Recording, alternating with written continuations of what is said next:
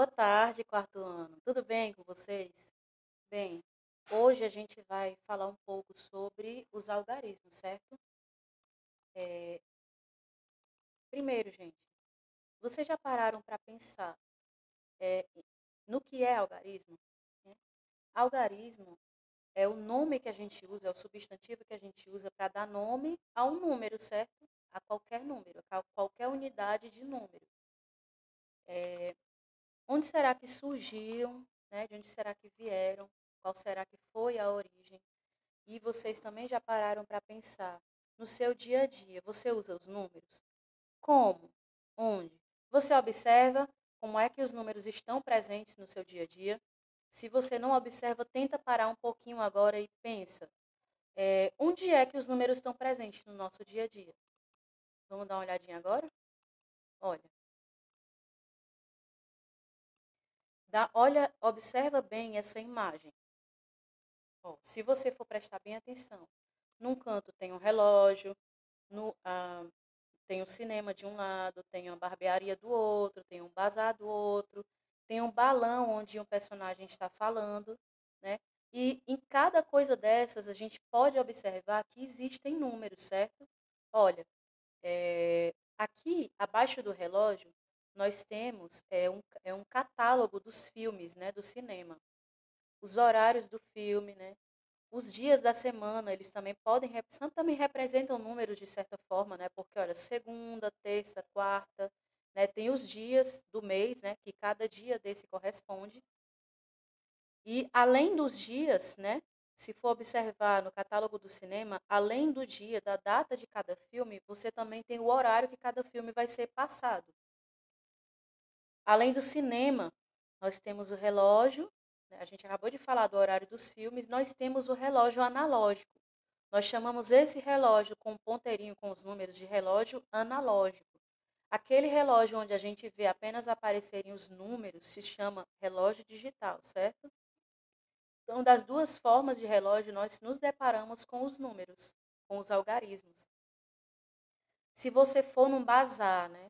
Você for sair, for passar em qualquer rua encontrar um bazar, você for entrar naquele bazar, é, provavelmente lá vai vender roupas, né? Roupas seminovas, calçados seminovos. O bazar é um lugar, é um estabelecimento onde você vai encontrar a opção de comprar objetos seminovos, certo?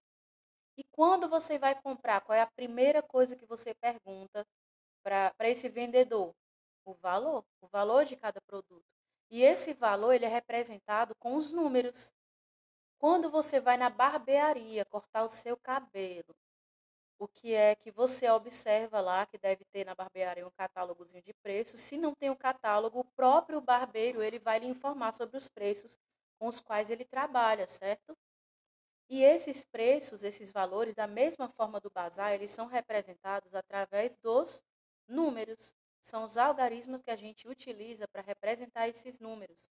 Nesse balãozinho aqui, que mostra a fala desse vendedor, ele diz assim, ó, no dia 4 do próximo mês vou fechar a loja, pois é meu aniversário. Vocês estão vendo aqui o número aparecendo na fala dele? O número 4, que representa o dia do aniversário dele. Essas são algumas formas, é, são algumas formas a gente perceber a existência, o uso do número no nosso dia a dia, certo?